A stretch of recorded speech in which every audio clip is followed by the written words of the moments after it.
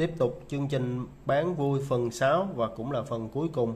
Đây em lên cho cả nhà 6 con chuyển khoản full cho em 1 triệu em bao ship nha. Đây một em đồng hồ Casio dây rút nha cả nhà. Nguyên riêng luôn. Đó size 40 ngang nè.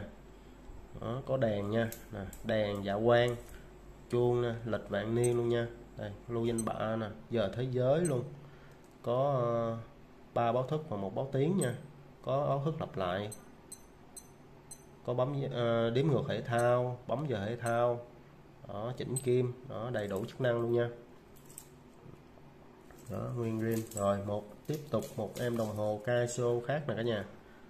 Đó, chuông nè. Đó chuông như cái loa vậy đèn nè. Đó.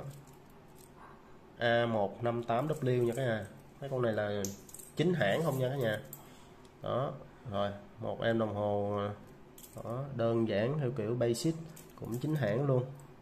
Đó, đơn giản tối giản. Đó ba kim chạy phà phà luôn nha. Rồi tiếp tục một em đồng hồ Casio à, con ngỗng nha. Đó đèn nè chuông nè. Đó, đầy đủ chức năng có hình trái đất nè.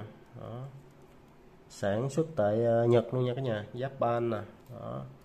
Rồi hai con này em chưa vô pin nha cả nhà cũng là Casio nha. Đó bốn sáu con Casio.